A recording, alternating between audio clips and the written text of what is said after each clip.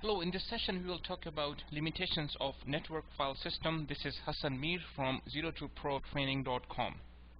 Before we start looking into the Hadoop file system, it's important to understand what kind of technology existed before and why there was a need to create a file system like Hadoop. Hadoop file system belongs to a category of file systems called distributed file systems. Distributed file systems were mainly created to serve two purposes to hold large amount of data and to serve multiple clients over the network. Now let's look into one of the most commonly used distributed file system called network file system. It is one of the oldest and one of the commonly used still. Let's try to answer the question why network file system was not sufficient to serve the needs and why there was a need to create Hadoop file system.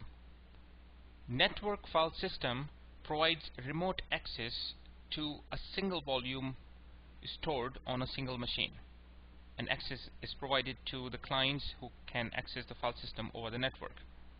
So how it works is the network file system makes a portion of the local file system visible to the external clients in this example this machine is a server and this is one of the clients. Client can mount this remote file system directly into his own machine. This way the client can interact with the file system as if this was part of his local file system. In other words this file system which is residing on a server will appear local to the client. So the benefits that come out of network file system are number one transparency. Clients do not need to particularly be aware that they are dealing with external remote file system. They work with it as if it's part of their own machine.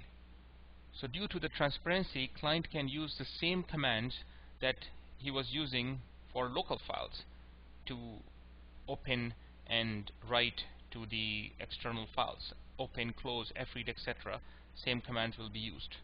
So number one limitation is limited data could be stored because network file system is going against the local volume a single volume on a single computer. So obviously the amount of data that could be stored is limited to the capacity the disk have on this machine. The second problem is that there is no protection against hardware failures. If this logical volume goes down all the machines that were using this volume will lose the connection and all the applications will stop working.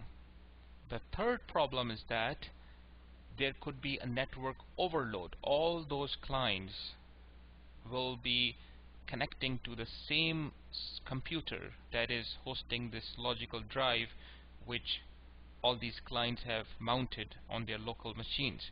So there could be a burden on the network.